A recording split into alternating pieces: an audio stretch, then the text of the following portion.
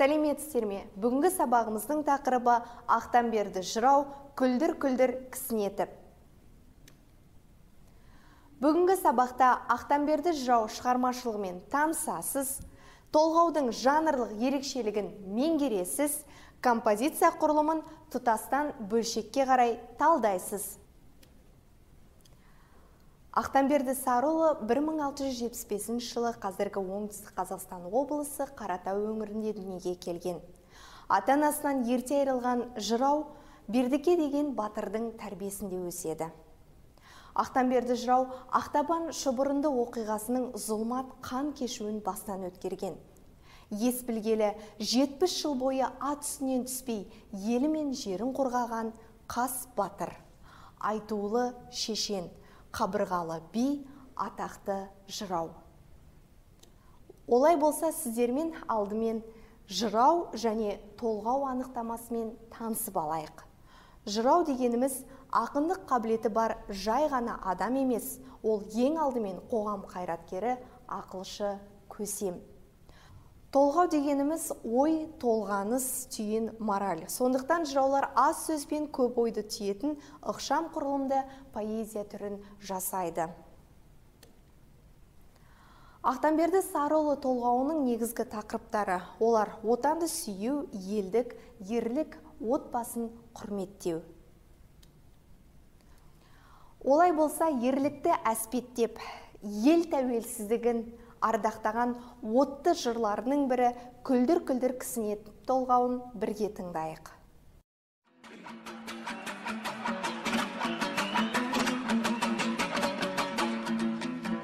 Күлдір күлдір кісінетіп күреңді мінер мекенбіз күдерді тағып күлеу көгер мекенбіз жатасы алтын шегізде шығыр шығып торғай күз ақ сауыт киер мекенбіз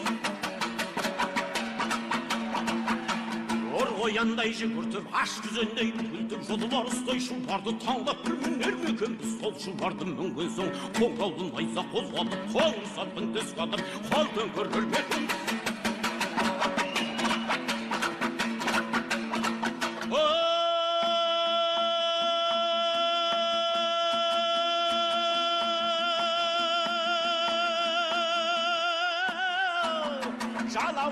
екенбіз жаңғалып жауға шығар мекенбіз тобыршықта әндеген толғайда тартар мекенбіз тобылғы түбі құралай таңдап бір атар мекенбіз шарлауға біткен жапыр жақ жамбылсақ тоңар мекенбіз жазыққа біткен бүлдірген сұғылсақ тояр мекенбіз тобылғы сапты қамшалып тұмар мойын ат мініп қоныста қарар мекенбіз ел жазылып жайлауда жақсы мал кеңес тұрғанда мұртымыз көкке шаншылып бұрында Күлдір күлдір кіснетіп күреңді мінер мекенбіз күдерді мау тағып қан қапты киер мекенбіз өзенге бие байлатып төстейге орда орнатып төрт күнде баша қаздырып бие сойдырып төменде бидің кеңесін бізде бір құрғар мекенбіз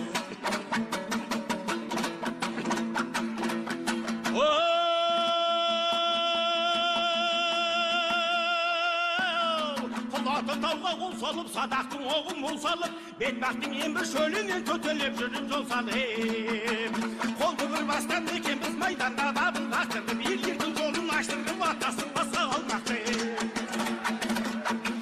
жоғына шауып тоздырып түйедегі наршасын әлпештеген қаншасын атардың әмін қызы ол жағылар мекенбез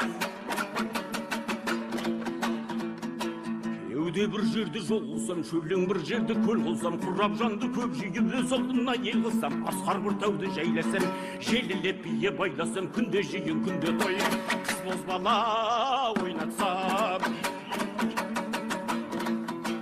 өзім бір бөлек жайласам жігіттен нөкер сайласам ойбаң жерге он отау қыран жерге қырық шатыр. Қонағымды жайғасам пышақтан малым кетпесе қазаным оттан түспесе май жемесе қонағым қан жемесе барағым оңды суге татса бір кеселе табақ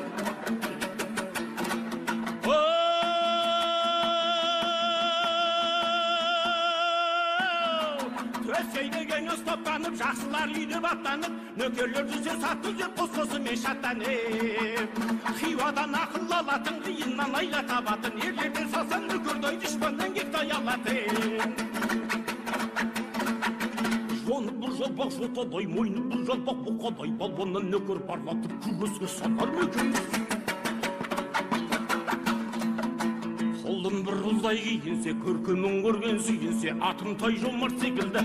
Атағым жұртқа білінсе осынша берген дәулеттен көтеріп тұрармын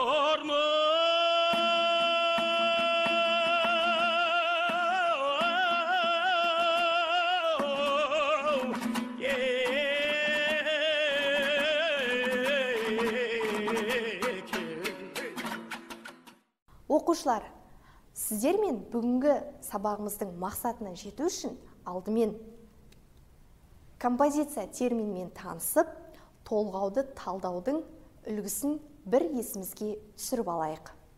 Композиция дегеніміз көркем шығарманың құрылымы. Толғауды талдау үшін алдымен біз образды ашамыз кейін кейіпкер тілі үшінші баяндауға назар аударуымыз керек екен.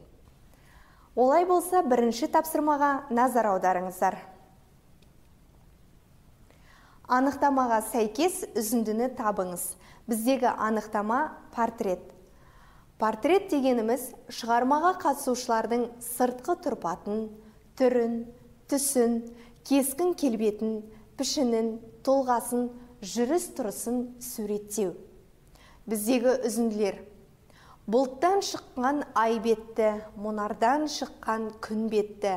Айттырса бермес сұлуын аппақ қылып маңдайын бұғақ қылып таңдайын қиылдырып қастарын төгілдіріп шаштарын. Келесі үзінді. Күнде жиын күнде той. Қыз бозбала ойнатсам тентегін түзеп байқа деп ішінен биді сайлатсам. Құлым бір ұлдай киінсе көркемін көрген сүйінсе атымтай жомарт секілді атағым жұртқа білінсе. Келесі үзінді.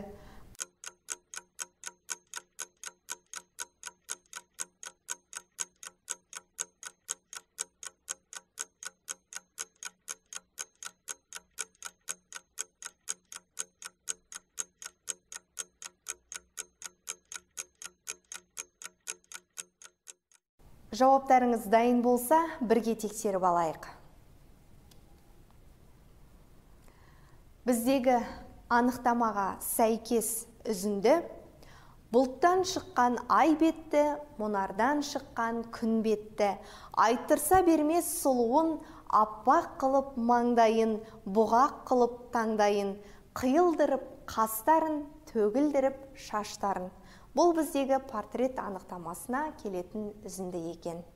Біздегі келесі тапсырма толғау бойынша кейіпкер тілін анықтайсыздар. Ол үшін кестенің бірінші бағанына сөйлесу түрін екінші бағанына толғау тілінің лексикасын үшінші бағанына менің дәлелім деп яғни өз дәлелдеріңізді үзінді бойынша келтіріп жазасыздар.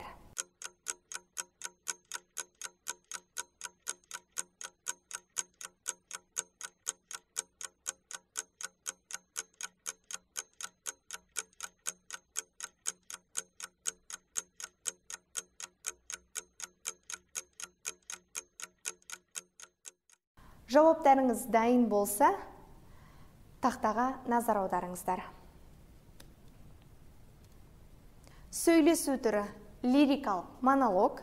Толғау тілінің лексикасы бірінші шығыршығы торғай көз сауыт киер екенбіз екінші жалаулы найза жанға алып жау қашар екенбіз үшінші төтелеп жүріп жол салып қолды бір табастар мекенбіз менің дәлелім 18 ғасыр әсіресе қазақ қоғамы үшін қандай заман болғаны бәрімізге белгілі. Көненің қылышындай өткен дәуірдің өзіндік сырын аңғартатын заманға тән сөздер ақын жыраулардың шығармасында көптеп кездеседі. Солардың бірі архаизмдер. Мысалы күдері кіреуке қамқап шүлеңгір. Келесі үшінші тапсырма кестенің үшінші бағанда тағы не байқадыңыздар деп тұр? Сіздерге үзінді берілген үзіндідегі киер мінер сөздеріне мұқият болыңыздар.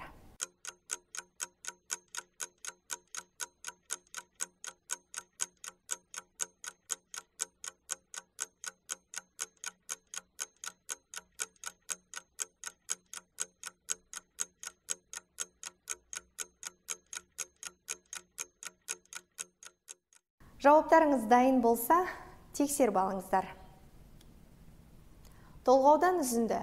Күлдір күлдір кісінетіп күреңді мінер мекенбіз күдерден бау тағып ақ кіреуке кермекенбіз жаға салтын жеңі жес шығыр шығы торғай көз сауыт киер мекенбіз ор қояндай жүгінтіп аш күзендей бүгілтіп жолбарыстай шұбарды таңдап мінер мекенбіз екінші бағанда бізде есімше және көсемше тұлғалы етістіктер қолдану мақсаты.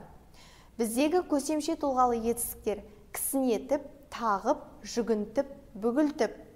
Есімше тұлғалы етістіктер мінер мекенбіз киер мекенбіз жырау ұп іп п көсемшелері арқылы қимыл іске назар аудартады. Ар ер р есімше тұлғалы етістіктер арқылы риторикалық сұрақ қояды. Болашақтан үміт күте отырып санадағы сансыз сұраққа жауап іздетеді. Үшінші бағандағы тағы не байқадыңыз? деген сұраққа жауап беретін болсақ бұл тіркестер көсемшелі эпитеттер грамматикалық параллелизм ішкі ұйқас жасалып тұр екен. Сонымен біз бүгінгі сабақта сіздермен ақтамберді жырау шығармашылығымен таныстық. Композиция құрылымын тұтастан бөлшекке қарай талдадық. Ақтамберді жыраудың 18 ғасырда айтқан сөзі бүгінгі ұрпаққа айтылғандай көрінетіні несі екен? Сөз өнерінің өміршеңдігі осындай бір өлшеммен өлшенсе керек. Әдебиет шаң басқан мұражайда қат-қат жатқан сары қағаз емес. Тірімізде тіршілігімізге аса қажет ауа су және наннан кейінгі қажеттілік. Сәуегей жыраудың осыны алдын ала көріп болжағандығына таңырқайсыз. Осымен сабағымыз аяқталды. Сау болыңыздар.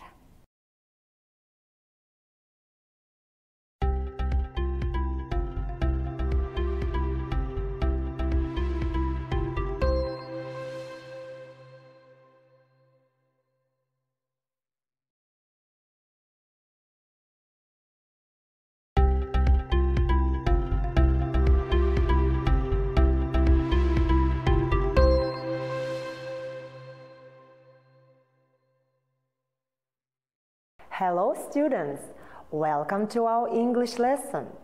I'm so delighted to see you again. How are you doing?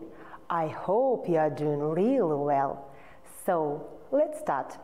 The topic of the lesson is daily life.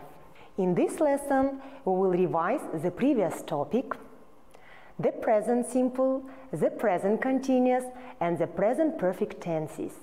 And practice our reading skills in English. Now students, let's revise the material we have learned. I will read the definition and you should guess the word or phrase. To do sports or physical activity to stay healthy and become fit means to exercise, right to do a job in order to earn some money. To work, well done. To visit shops in order to buy things means to go shopping, right. To go online and look at websites. To surf the net. To have lunch or dinner at a restaurant, to eat out, to do work which keep the house clean and organized means to do chores, to spend a lot of time in a place or with friends, to hang out with friends, to clean with a vacuum cleaner to vacuum. Now students, you will watch a short video related to the previous topic. Free time fun. What do you do in your free time? Do you play sports or video games? Do you collect stamps? Do you like ice skating? Maybe you prefer going to the cinema. Well, take a look at some leisure activities from around the world that you might find more exciting. Skateboarding. Do you want a free time activity that combines thrills, a healthy lifestyle, and the latest street fashion? Then why not try skateboarding? This hobby can improve your physical fitness and your concentration. In cities such as Almaty and Astana in Kazakhstan, more and more teenagers are taking up this sport. All you need is a skateboard and somewhere to skate.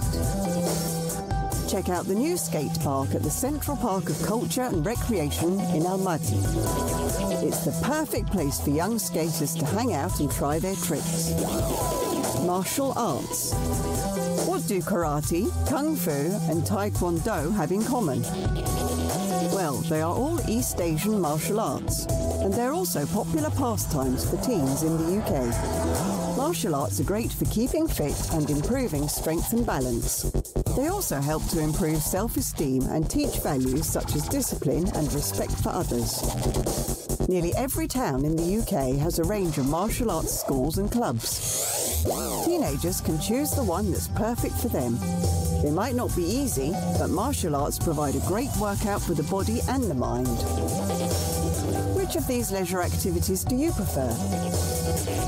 What do you like doing in your free time?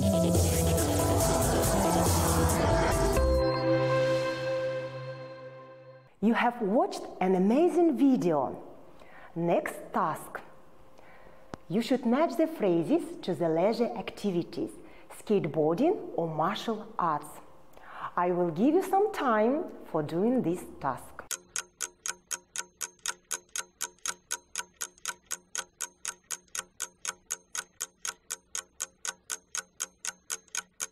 I see you have finished. Now let's check skateboarding. Skateboarding improves physical fitness. Skateboarding improves concentration. Skateboarding improves the ability to do tricks. Well done. Martial arts. Martial arts improves strength. Martial arts improves balance. Martial arts improves self-esteem. Well done. Let's move to the grammar. So, when do we use the present simple? We use the present simple for daily routines, repeated actions, habits, permanent states, timetables, general truths, and laws of nature. Time expressions used with the present simple. Every day, every hour, every month, every week, usually, always, often, sometimes, etc. For example, she always takes the bus to school. Present simple. When do we use the present continuous? We use the present continuous for actions happening now at the moment of speaking. For actions happening around the time of speaking. Fixed arrangements in the near future, especially when we know the time and the place. Temporary situations. Time expressions used with the present continuous now, at the moment, at present, these days, today, tomorrow, next month, etc. For example, he is watching TV now. The action is happening now. Almat is driving us to school tomorrow. Fixed arrangement. We know the place and the time. Present perfect. We use the present perfect to talk about the past action which has a visible result in the present. For actions which happened at an unstated time in the past. The action is more important, than the time it happened. With today, this morning, this afternoon, this week, etc. When these periods of time are not finished at the time of speaking. For recently completed actions, for personal experiences, changes which have happened. Time expressions used with the present perfect already, yet, just, ever, never, for, since, recently. For example, she has cleaned her room. Timur has never been there before. Present perfect. Now students, let's practice. Here you should choose the correct answer. Number one, have you done? Check your answer. Dana is playing tennis at the moment. The action is happening now. That's right. Number two, check your answer. Marat often visits his relatives. That's perfect. Number three, we we are going to the cinema tonight. Excellent. Number four. I have done most of my chores and I am ready to take a short break. You're making good progress. Now students, let's practice reading skills in English. Look at the screen. I will read the text and you please follow my reading.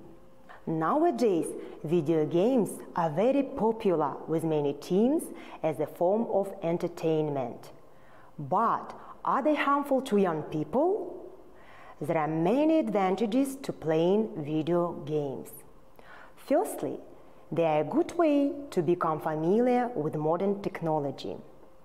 Young people can learn skills that will be useful to them later in life by playing video games. Secondly, the games themselves can be educational. Some games can teach young people about making strategies and solving problems. Finally, they can simply just be fun and entertaining to play. On the other hand, there are disadvantages to playing video games. To start with, many games are very violent and this can affect young people.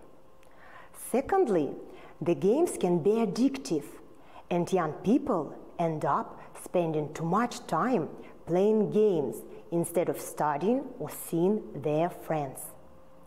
To sum up, there are both positive and negative aspects to video games.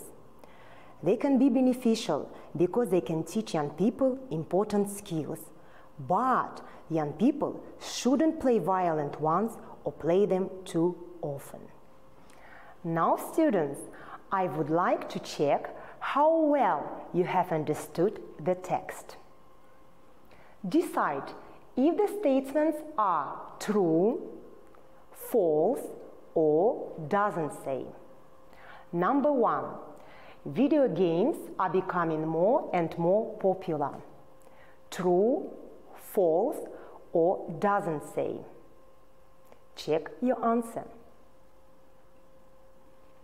Doesn't say. You are right. Number two, you need to be good with computers to play video games. True, false, or doesn't say. Check your answer. False. That's perfect. Number three, you can learn things by playing video games. Have you done? Check your answer. True. Excellent.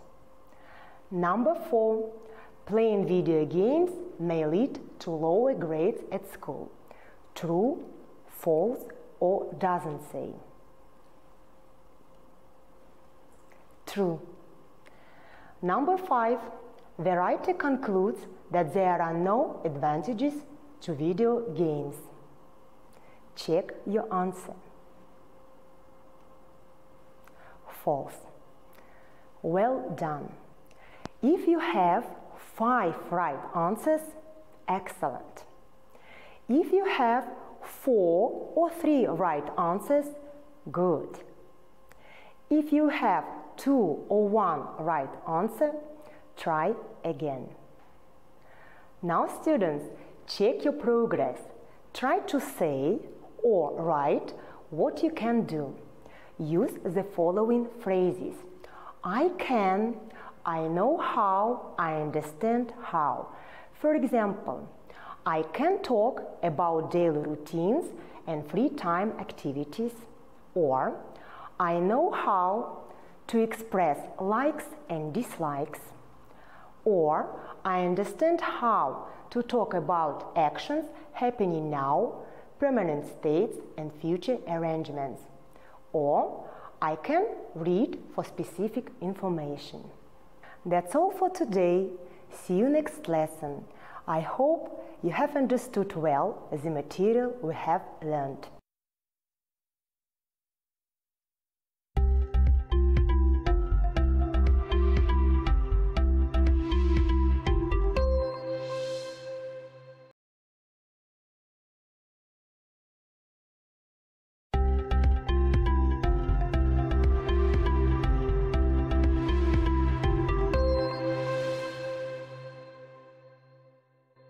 Сәлеметсіздер ме оқушылар бүгінгі өтетін тақырыбымыз үшбұрыштың орта сызығы. Яғни бүгінгі сабақта үшбұрыштың орта сызығының қасиетін дәлелдеуді және қолдануды үйренесіздер. Олай болса үшбұрыштың орта сызығы дегеніміз не? Оны анықтап алайық. Ол үшін кез келген а б с үшбұрышын қарастырайық. Осы а б с үшбұрышының а б қабырғасының ортасын д деп белгілесек б с қабырғасының ортасын е деп белгілесек д е кесіндісі осы абц үшбұрышының орта сызығы болады. Олай болса үшбұрыштың орта сызығы дегеніміз не екен? Анықтайық.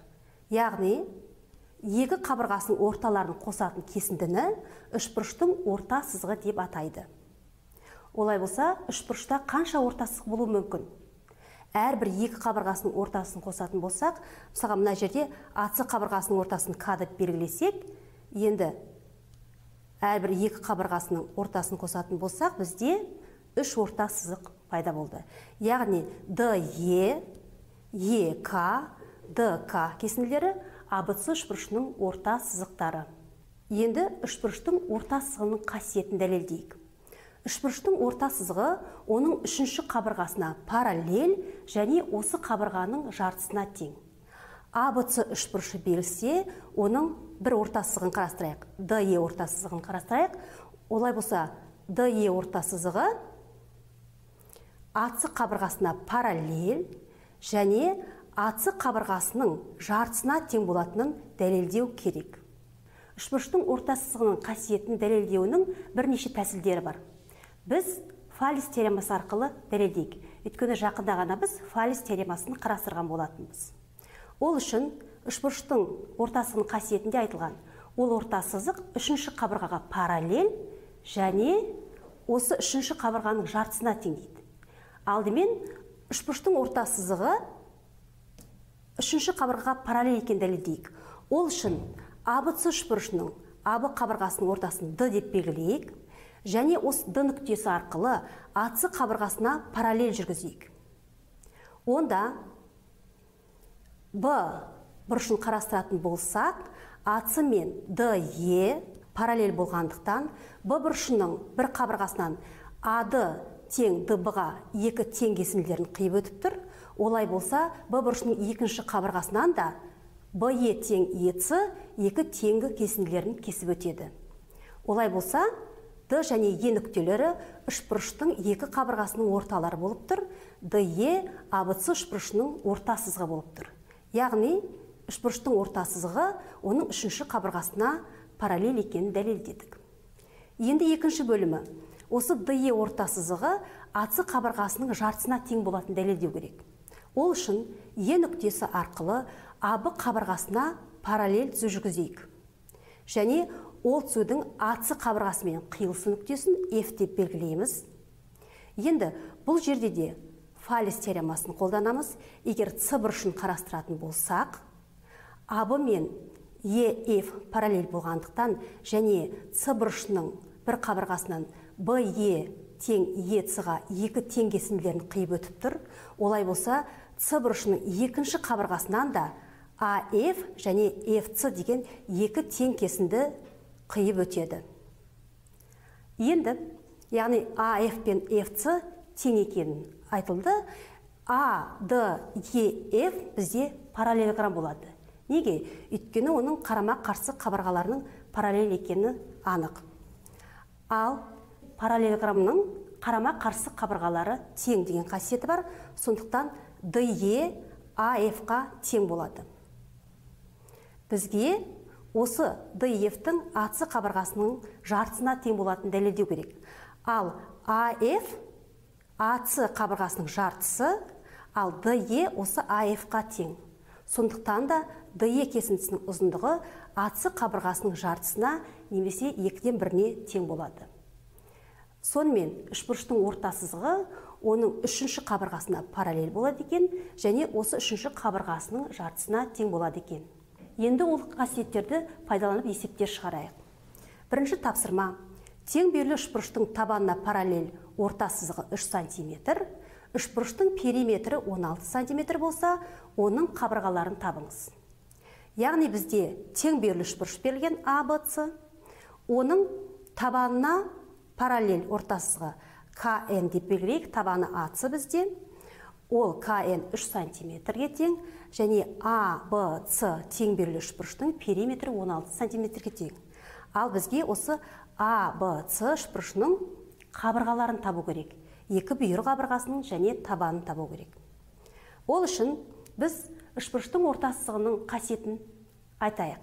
Үшбұрыштың орта сызығы яғни кн оған параллель қабырғаның жартысына тең. Яғни кн ацының екіден бір бөлігіне тең. Ал бізге орта сызығының ұзындығы белгілі кн ұзындығы онда ацыны қалай табамыз? Осыдан ацыны шығарсақ асы керісінше екі көбейтілген кн-ға тең болады. Ал кн кесіндісінің ұзындығы бізде белгілі ол 3 сантиметрге тең. Онда асы қабырғасы оның екі есесіне тең. Екі мен үштің көбейтіндісі алтыға тең. Онда асы қабырғасы яғни тең үшбұрыштың табаны 6 сантиметрге тең. Енді бізге бүйір қабырғаларын табу керек. Бүйір қабырғалар ол өзара тең яғни аб мен бц қабырғалар өзара тең. Бізде табаны белгілі және осы тең беріліш бұрыштың периметрі белгілі.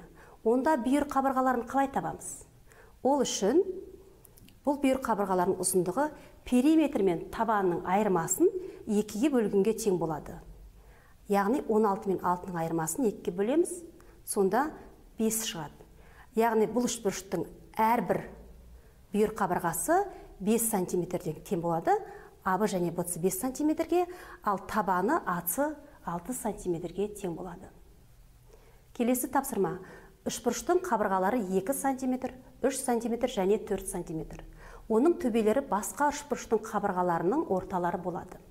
Үшбұрыштардың периметрлерін табыңыз. Олай болса бізге берілген үшбұрышты біз салып алайық. Өзіміз оны д е ф деп белгілейміз. Яғни бұл үшбұрыштың е қабырғасы 2 сантиметрге ф қабырғасы 3 сантиметрге ф қабырғасы 4 сантиметрге тең болсын. Енді шартта айтылған бұл д е ф үшбұрышының төбелері яғни д е ф нүктелері басқа бір үшбұрыштың қабырғаларының ортасы болады дейді. Ол қалай? Яғни сызбасы былай болады.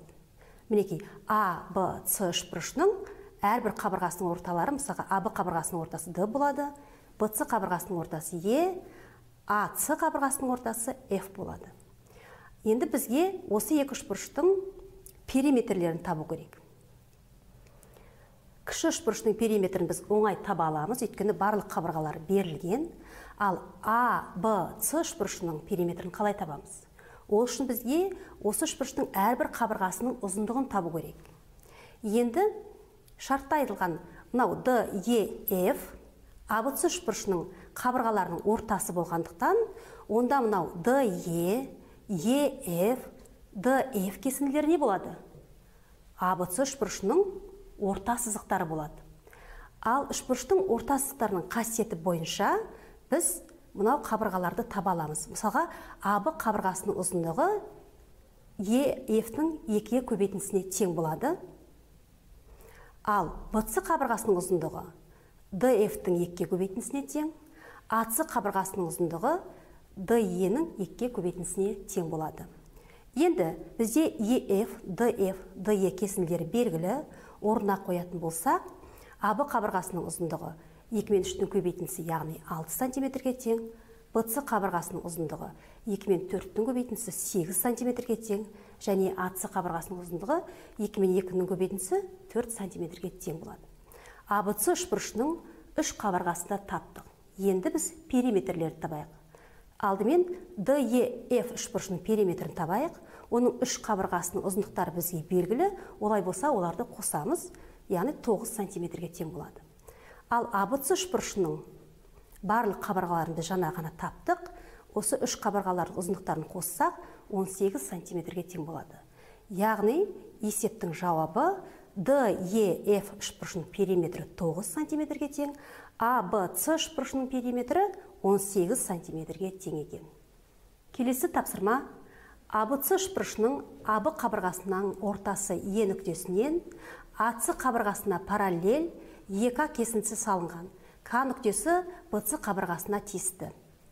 Еб 4 сантиметрге тең болса бк 3,5 сантиметрге тең болса және ек 3 сантиметрге тең болса абц үшбұрышының периметрін табу керек.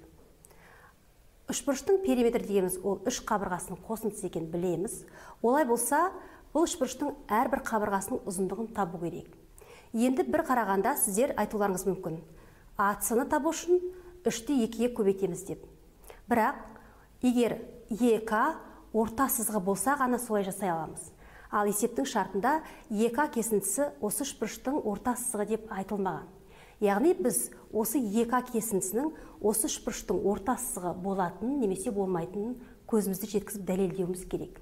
Ол үшін есептің шартына тағы да мән беріп қарайық. Е нүктесі аб кесіндісінің ортасы дейді.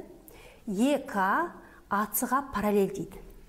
Онда фалес теоремасы бойынша ек мен ац мынау бц қабырғасында тең екі кесіндіге бөледі. Яғни бк мен кц да тең болады. Енді ек шынымен де осы үшбұрыштың орта сызығы болады екен. Онда біз осы үшбұрыштың орта сызығының қасиетін пайдалана аламыз. Ац қабырғасының ұзындығын табу үшін біз ек орта сызығының ұзындығын екіге көбейтеміз. Яғни ац екі мен үштің көбейтіндісіне тең 6 сантиметрге тең. Енді аб қабырғасының ұзындығын қалай табамыз? Аб қабырғасының жартысы еб 4 сантиметрге тең болса аб қабырғасының өзі екі еселенген 4 яғни 8 сантиметрге тең. Бц қабырғасының жартысы бк 3,5-ке тең. Олай болса бц қабырғасының өзі 3,5-ті екіге көбейтеміз 7 сантиметрге тең болады. Біз үш қабырғасының да ұзындықтарын таптық онда периметрін оңай таба аламыз. Бұл үш қабырғаларды қосатын болсақ абц үшбұрышының периметрі 21 сантиметрге тең болады екен. Есептің жауабы яғни абц үшбұрышының периметрі 21 сантиметрге тең. Балалар бүгінгі сабақта біз үшбұрыштың орта сызығымен таныстық. Осы орта сызықтың қасиетін білдік және осы қасиетті қолданып есептер шығардық. Бүгінгі сабағымыз осымен аяқталды. Сау болыңыздар.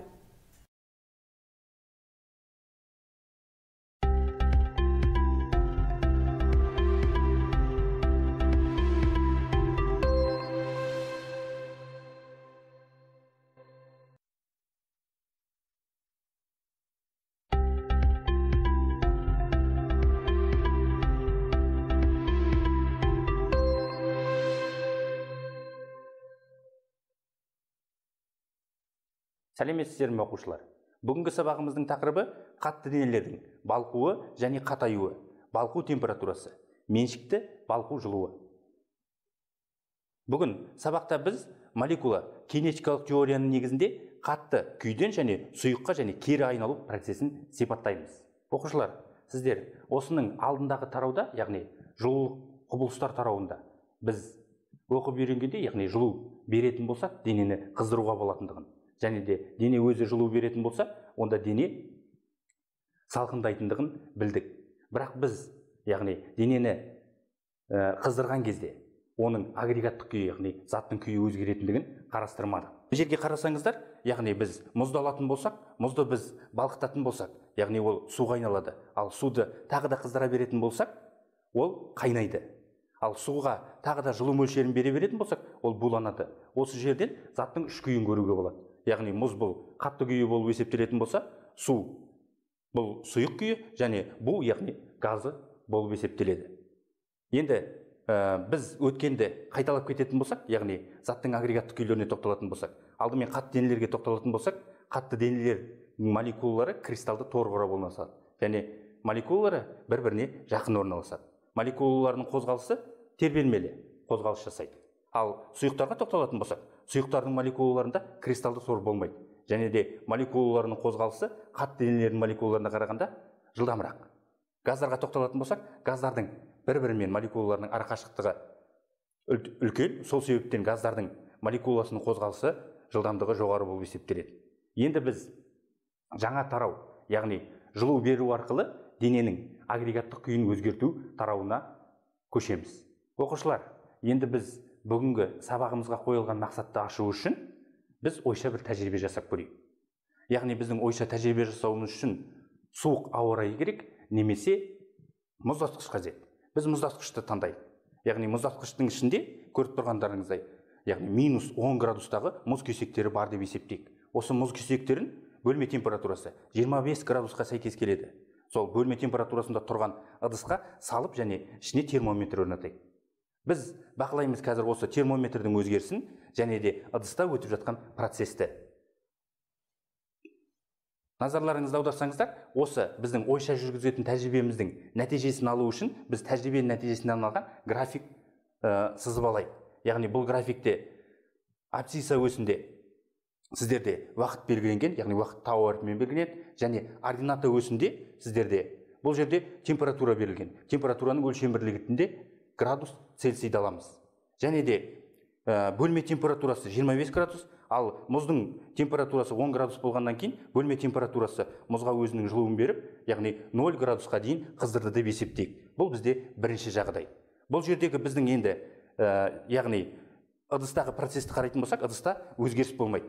Ал термометрді бақылайтын болсақ термометр яғни минус 10 градустан 0 градусқа дейін көтеріледі. Енді назарымызды кестеге аударсақ яғни әрбір тәжірибелер көрсеткендей әрбір кристалл денелер өзіне тән балқу температуралары болады. Балқу температурасы заттың балқу кезіндегі температурасын айтамыз.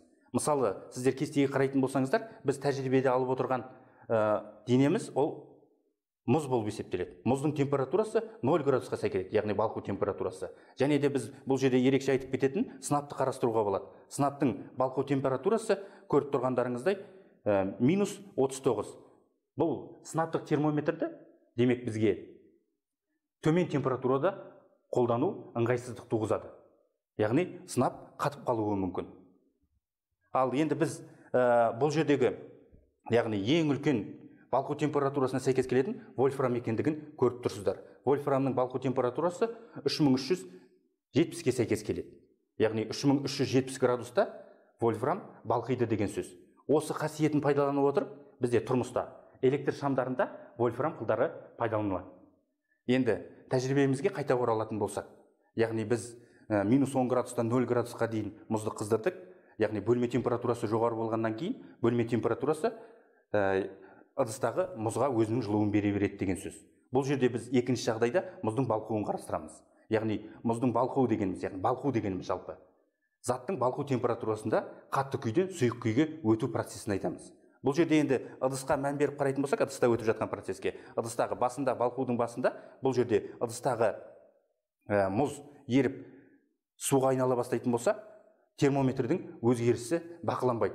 Яғни оны графиктен де көрсеңіздер болады. Ноль градуста термометрдің өзгерісі тұра береді. Енді тағы да жылу бере беретін болсақ бұл жердегі жылудың барлығы балқуға жұмсалады да біздің яғни жалпы мұзымыз толыққанды соңғы түйірі қалғанша біздің термометріміздің өзгерісі бақыланбайды. Яғни балқу, темпер, балқу кезінде бізде температураның өзгерісі көрін, көрсетілмейді. Енді үшінші жағдайға тоқталайық. Яғни толыққанды бізде мұзымыз суға айналды деп есептейтін болсақ онда ол үшінші жағдайға яғни суды қыздыру керек енді бізге. Демек 0 градус тұрған суды бөлме температурасы арқылы біз 10 градусқа дейін қыздыра аламыз. Бұл бізде үшінші жағдай. Енді біз тәжірибемізді яғни кері бағытта жалғастырайық. Яғни 10 градустағы суды алып біз мұздатқышқа орнатайық. Яғни мұздатқышта біз бақылай аламыз. Судағы ыдыстағы өтіп жатқан процесті және температураның өзгерісін көре аламыз деп есептейміз. Енді тәжірибемізді жалғастыратын болсақ яғни төртінші жағдай. Бұл жерде сіздерде судың салқындауы. Сіздер білесіздер яғни мұздатқыштың температурасы судың температурасынан төмен болғандықтан су өзінің жылуын мұздатқышқа береді. Яғни сол арқылы ол суиды. Суыған кезде бізде ә, яғни ыдыстағы процесс судың өзгеріссіз болады. Ал температура бізде төмендейді яғни термометрде төмендеу байқалады деген сөз. Бесінші жағдайды қарастыратын болсақ судың кристалдануы. Яғни кристалдану дегеніміз бізде. Қатаю немесе кристалдану заттың қатаю температурасындағы сұйық күйден қатты күйге өтуі. Яғни бізде кристалдану температурасы бақылайтын болсаңыздар графиктен балқу температурасы яғни мұздың балқу температурасы нөл градусқа сәйкес келетін болса мұздың қатаю яғни кристалдану температурасы ол да 0 градусқа сәйкес келеді. Демек балқу температура мен қатаю кристалдану температурасы бірдей деген сөз. Және бұл жердегі енді ыдысқа мән беретін болсақ ыдыстағы процесті қарайтын болсаңыздар ыдыстағы процесс белгілі бір бөлігі суға және белгілі бір бөлігі мұзға айнала бастайды. Ал осы процестің соңына қарай толығымен ал термометрдің өзгерісі бұл жерде бақыланбайды. Ал осы процестің соңына қарай толығымен ыдыстағы су толығымен мұзға айналады. Және алтыншы процеске көшетін болсақ онда мұздың салқындауы. Демек бұл жерде ыдыстағы өзгеріс бақыланбайды ыдыста мұз болады және термометрдің төмендеуін көре аламыз. Енді біз балқу және қатаюды молекулалық кинетикалық тұрғыдан қарастыратын болсақ яғни бұл жерде біз тәжірибе арқылы ә, сызып алған графигімізге мән беріңіздер. Біз тәжірибенің нәтижесінде яғни балқуды және кристалдануды сіздерге көрсеттік. Және суретке мән беретін болсаңыздар бұл жерде мұздың яғни мұз кристалл судың энергиясының есебінен балқып жатқанын көре аласыздар. Және мына жерде металдың балқығанын көре аласыздар. Енді біз ә, жалпы осы графигімізді молекулалық кинетикалық тұрғыдан сіздерге түсіндіріп берейін.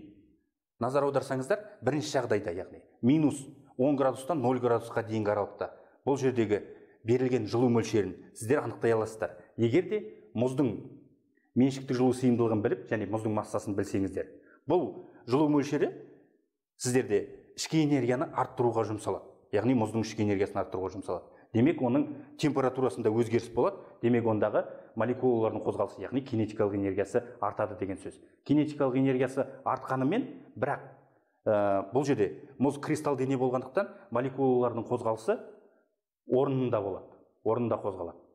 Ал екінші жағдайға көшетін болсақ екінші жағдайда яғни бұл бізде балқуға сәйкес келеді. Екінші жағдайда яғни біздің мұз балқиды деген сөз. Бұны ә, біз молекулалық кинетикалық тұрғыдан қарайтын болсақ яғни балқу процесі де температураның өзгерісі болмайды. Демек оған жылу беріле ме берілмей ме? Соған назар аударайық. Иә қарасаңыздар яғни бұл жерде жылу ә, мұздың температурасы 0 градус ал бөлме температурасы 25 градус болатын болса 25 градустағы ә, бөлме 0 градустағы мұзға өзінің жылуын береді. Демек бұл жерде жылу беріледі. Бірақ ішкі энергияның өзгерісі қалай болады? Соған қара, соған ә, қарай яғни ішкі энергияның өзгерісі ә, сіздерде молекулалардың қозғалысы өзгермесе демек оның кинетикалық энергиясы өзгермесе ішкі энергияның өзгерісі қайдан пайда болады? Осы сұраққа жауап беріп көрейікші. Сіздер білесіздер молекуланың яғни ә, ішкі энергияның ішкі энергияның өзгерісі тек қана молекулалардың қозғалысы кинетикалық энергиядан ғана емес сонымен бірге молекулалардың өзара әрекеттесу энергиясы потенциал энергиядан да тұрады. Демек кинетикалық энергия артпайтын болса онда ә, ішкі энергияның артуы потенциал энергияның есебінен болады деген сөз. Демек бұл жерде потенциал энергия артады да яғни кристалды торды кристалл тор ә, кристалды торды бұзуға көмектеседі. Яғни потенциал энергияның есебінен артқан кезде молекулалар ә, тербеліс амплитудасы артып соның есебінен кристалды торды бұзып сұйыққа айналу процесі жүреді. Яғни ол балқу деп аталады. Және де енді ә, біз үшінші жағдайды қарастыратын болсақ бұл жерде үшінші жағдайда 0 градустан 10 градусқа дейін ә, су яғни балқыды су ә, көтеріледі. Яғни бұл жерде ішкі энергия артады. Ішкі энергияның артуының есебінен температура көтеріледі. Температура көтерілетін болса демек оның молекулалардың қозғалысы яғни кинетикалық энергиясы артады деген сөз. Енді біз кері процесс яғни төртінші жағдайды қарастыратын болсақ төртінші жағдайда яғни ә, 10 градустан 0 градусқа дейін су ә, суиды демек дене өзінің ә, өзінен энергия бөліп шығаратын болса оның температурасы төмендейді деген сөз. Температураның төмендеуі бұл жерде сіздерде кинетикалық энергия яғни молекулалардың қозғалыс энергиясының төмендеуіне алып келеді. Молекулалардың қозғалысы төмендейтін болса белгілі бір уақыттан кейін молекулалар бір біріне жақындап және орнығып олар кристалды тор құра бастайды. Бұл бізде бесінші жағдай яғни қатаю кристалдануға келеді. Және кристалданғаннан кейін мұз кристалданып алғаннан кейін оның температурасын біз 0 градустан ә, минус 10 градусқа дейін төмендететін болсақ яғни кристалданған дененің яғни молекулаларының яғни олар берік орналасқан молекулалары тербелмелі қозғалыс жасайды бірақ бұл жерде де кинетикалық энергиясы кему процесі болады. Назар аударсаңыздар енді. Яғни мен алдыңғы слайдта айтып кеткенімдей сіздерде бұл жерде балқу температурасы мен қатаю яғни кристалдану температурасы бір екеуінікі. Яғни мұздың балқуы да қатаюы да бір ә, температурада 0 градуста жүреді деген сөз. Басқа заттардікі ә, әрбір заттың кестеден көргендеріңіздей оларды әрбіреуінің өзінің балқу және қатаю температуралары бар. Бірақ әрбір заттың өздерінің балқу да қатаю температуралары бірдей болып есептеледі. Назарларыңызды ә, осы формулаға аударатын болсаңыздар бұл жердегі ә, бірінші q деп отырғанымыз бұл балқу кезінде сыртқы ортадан жұтылған энергия болып есептеледі. Ал қатаю кезінде балқу кезінде қандай энергия жұтты? Қатаю кезінде сондай энергияны бөліп шығарады. Демек бұлар энергияның сақталу заңы бойынша яғни балқу энергия балқу кезінде жұтылған энергия мен кристалдану кезінде бөлінетін энергия бір біріне тең болып есептеледі. Енді ә, назарымызды ә, суретке аударып отырайық. Және сіздер білесіздер қатты дене ә, екі түрге бөлінеді. Бұл кристалл және аморфты дене болып бөлінеді. Аморфты дене мен кристалл дененің айырмашылығы неде? Яғни кристалл денелердің белгілі бір балқу температуралары болатын болса ал аморф денеде белгілі бір балқу температуралары жоқ. Яғни оған біз шыныны жатқызуға болады. Суретте қарайтын болсаңыздар яғни шыныны қыздыратын болсақ ол ә, белгілі бір температурада балқымайды ол иілгіштік қасиетке ие болады. Осы иілгіштік қасиетін яғни шеберлер пайдаланып сіздер суретте көріп отқандарыңыздай міне ә, қасиетін пайдаланып жатыр да аморф дененің. Осының есебінен аттың ә, әдемі мүсінін жасап шығып жатыр бұл тек қана осындай мүсіндер емес сонымен бірге біз тұрмыста пайдаланатын мынау шыны ыдыстардың барлығы аморф дене болғандықтан олардың иілгіштік қасиетін пайдалану нәтижесінде жасалады. Оқушылар сонымен бүгін біз молекула кинетикалық теорияның негізінде қатты күйден сұйыққа және кері айналуды сипаттадық. Сонымен бүгінгі сабағымыз аяқталды. Сау болыңыздар.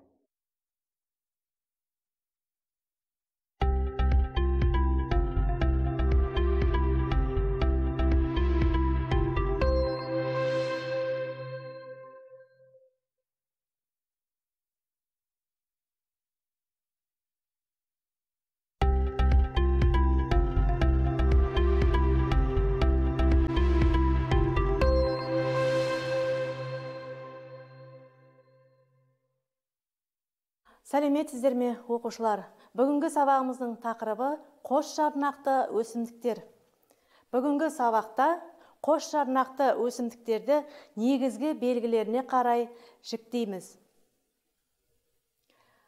Қос жарнақты өсімдіктердің негізінен 8 класс тармағы 429-дай тұқымдасы 10 мыңнан астам туысы және 190 мыңнан аса түрі бар деп есептелінеді. Оқушылар біз өткен сабағымызда дара жарнақтылармен танысқан болатынбыз. Бүгін міне қос жарнақты өсімдіктердің сол дара жарнақтылардан өсімдіктерден негізгі ерекшелігі тұқымының құрылысынан басталады. Дара жарнақтылардың тұқымы бір ғана тұқым жарнағынан тұрса көріп тұрғандарыңыздай қос жарнақтылардың тұқымы екі тұқым жарнағынан тұрады және теңдей екі жарты бөлікке оңай бөлінеді. Қос жарнақтылардың тұқымы міне эндоспермнен тамырша сабақша және бүршікшеден тұрады. Бұл үрме бұршақ мысалында қарастырылған тұқым қос жарнақтылардың өкілдеріне өздеріңіз күнделікті көріп жүрген үрме бұршақ және бұршақ өсімдіктерін жатқызуға болады. Мінеке енді тамыр жүйесіне келсек. Қос жарнақтылардың тамыр жүйесі негізінен кіндік тамыр болып келеді. Ал дара жарнақтыларда өткен сабағымызда біз шашақ тамырлы болып келеді дегенбіз. Мінекей ә, қос жарнақтылардың тамыр жүйесі кіндік тамыр негізгі тамырдан қосалқы тамырлардан және бүйіріндегі жанама тамырлардан тұрады. Ал енді жапырақтарының құрылысы. Қос жарнақтылардың жапырағы торлы қауырсынды немесе саусақ тәрізді болып келеді. Негізінен жапырақтары қос жарнақтылардың жай және күрделі жапырақты болып келеді. Торлы қауырсынды. Кәдімгі құстардың қауырсынына ұқсайтын болып келеді. Мысалы қайыңның жапырағы. Емен жапырағы алманың жапырақтарына қарасаңыздар құстың қауырсынына ұқсас болып келеді. Келесі оқушылар гүлінің құрылысы. Қос жарнақтылардың гүлінің құрылысы мінекей гүл табаны тостағанша жапырақшасынан гүл серігі міне аналығы аталығы және күлте жапырақшаларынан тұрады. Дара жарнақтылардан ең бір ерекшелігі тостағанша жапырақшаларының болуы. Гүлдің және гүлдерінің сандарына да байланысты. Ә, қос жарнақтылардың гүлдері төрт немесе көбінесе бес еселі болып келеді. Жемістеріне келетін болсақ ә, қос жарнақтылардың жемістері әртүрлі алуан түрлі болып келеді. Жемістері негізінен және шырынды және құрғақ жемістер болып келеді. Шырынды жемістерінің өзі жидек жемістер жидек тәрізді жемістер және сүйекті жемістер болып келеді. Міне мына жерде кәдімгі қызанақ пен жүзім бұлар жидек жемістерге жататын өкілдері. Келесі бізде жидек тәрізді жемістер. Бұларға апельсин мандарин лимон сияқты цитрус өсімдіктерін жатқызамыз. Келесі сүйекті шырынды жемістер. Бұндай жемістерге сүйегі бар шырынды жемістер. Мысалы өздеріңіз білетін өрік шабдалы шие сияқты жемістер жатады. Енді сүйекті құрғақ жемістер. Сүйекті құрғақ жемістерге мінекей жер жаңғақ грек жаңғақ сияқты қос жарнақтылардың өкілдері жатады. Сонымен қатар алуан түрлі жаңғақтарды жатқызуға болады. Жемістердің тағы бір түрі бізде құрғақ жемістің түрлері.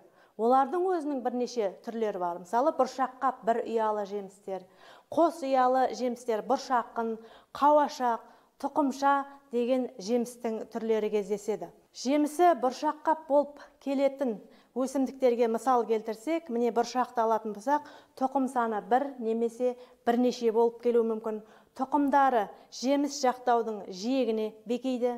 Піскен кезде ашылып тұқымдары сыртқа шашылады. Бұл бұршақ қап болып келетін жемістер. Ал бұршақ қын болып келетін жемістерге міне қырыққабатты шомыр шалқан сияқты жемістерді жатқызамыз. Енді қос жарнақтылардың тіршілік формаларына келсек табиғатта қос жарнақтылар өте кең тараған және олардың тіршілік формалары да әртүрлі. Ағаш түрінде өседі және бұталар түрінде кездеседі. Сонымен қатар шөптесін өсімдіктер түрінде кездеседі. Мысалы міне алма жемісі алма ағашы шие бұлар ағаш түрінде өсетін қос жарнақтылар. Міне алманың жемісі және гүлі. Ал бұталар түрінде өсетін түрлер де бар. Мысалы үшін өздеріңіз білетін таңқурайды жатқызуға болады. Сонымен қатар шөптер түрінде өсетін түрлер де бар. Міне қос жарнақтылар табиғатта осындай тіршілік формаларында кездеседі. Балалар енді осы қос жарнақты өсімдіктердің табиғатта және адамзаттың өмірінде маңызы бар ма? Әрине мысалы күнбағысты алатын болсақ бір күнбағыстың өзінен қаншама ә, тұрмысқа қажетті заттар алынады. Мысалы ең кең тарағаны сұйық май тамақ пісіруге арналған және ә, пістелер сонымен қатар казинаки әртүрлі өздеріңіз білетін заттар ә, жасалады. Тағам ретінде қолданылады қосжарнақтылардың ә, басым көпшілігі. Сонымен қатар қосжарнақтылар дәрілік өсімдіктер ретінде мысалы қырмызы өгей шөп шашыратқы сәлбен эхинацея мың жапырақ бұл адамдарда қан тамыр жүйелерін ә, жәнеги бас ауруларын жүрек ауруларына әртүрлі ауруларды емдеу үшін бұрыннан қолданылып келе жатқан кең тараған дәрілік шөптер.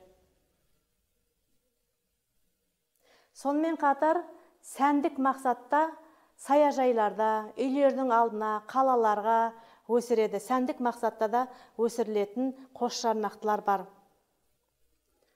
Оқушылар олай болатын болса бүгін қос жарнақты өсімдіктердің ерекшеліктері туралы не білдік? Оны бекіту үшін бірнеше тапсырма орындап көрейік. Бірінші тапсырма суретке назар аударыңыздар. Гүлдер берілген гүлдің құрылысы. Осы гүлдердің қайсысы дара жарнақтыларға қайсысы қос жарнақтыларға жатады және гүлінде қандай ерекшелігі бар екенін табайық.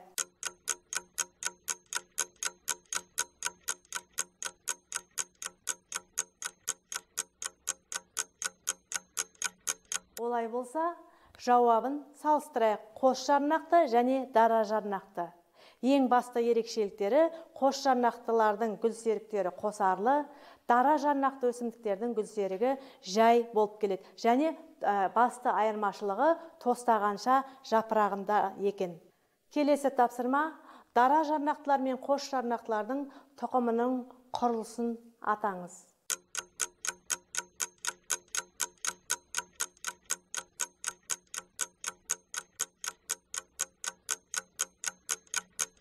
Жауап берген болсаңыздар дұрыс жауаппен салыстырайық.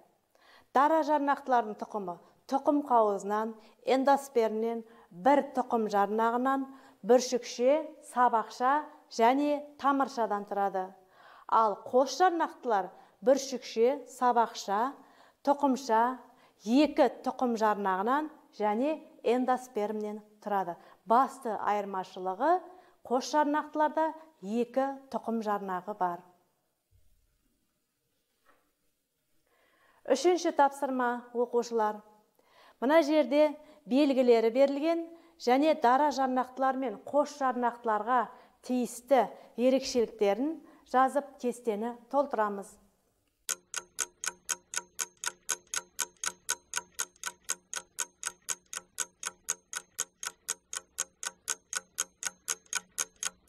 Олай болса жауаптарымызды салыстырайық. Міне бізге тамыр жүйесі тұқымы және гүлі берілген. Дара жарнақтылар мен қос жарнақтыларды салыстырамыз. Дара жарнақтылардың тамыр жүйесі шашақты ал қос жарнақтылардың тамыр жүйесі кіндік тамырлы болып келеді. Тұқымына келсек дара жарнақтыларда бір тұқым жарнағы ал қос жарнақтыларда екі тұқым жарнағы бар екен. Ал енді гүлінің құрылысына келетін болсақ дара жарнақтылардың гүлі жай гүлдерге қос жарнақтылардың гүлі қосарлы гүлдерге жатады. Сонымен қатар қос жарнақтыларда тостағанша жапырақшалар болады.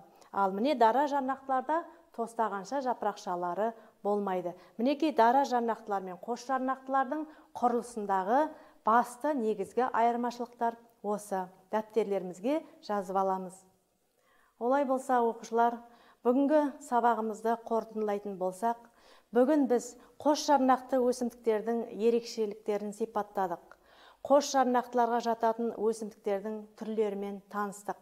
Бүгінгі сабақтан өздеріңіз көргендей қос жарнақтылар мен дара жарнақтылардың ең басты ерекшеліктері олардың тұқымдарының гүлдерінің жапырақтарының құрылысында екен. Қос жарнақтылардың тұқымында екі қос жарнағы болатынын білдіңіздер. Ал жемістері құрғақ және шырынды жемістер болып келетінін білдіңіздер. Қос жарнақтылардың жемістері шырынды сүйекті шырынды сүйекті құрғақ жемістер бұршаққын бұршаққап түрінде кездесетін жемістермен және олардың түрлерімен атауларымен таныстық.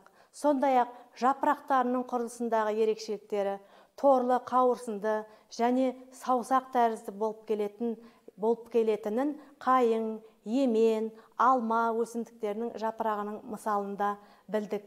Сонымен қатар тамырында да ерекшелік бар екенін білдіңіздер. Мысалы дара жарнақтыларда шашақ тамырлы болса қос жарнақтылардың тамыры кіндік тамырлы болып келеді екен. Сонымен қатар қос жарнақтылар табиғатта тіршілік формалары да әртүрлі. Мысалы ағаш түрінде өсетін қос жарнақтылар бұта түрінде өтетін қос жарнақтылар және шөптесін түрінде өсетін қос жарнақтылардың түрлерімен таныстық. Мысалы өздеріңіз күнде көріп жүрген алма ағаштары.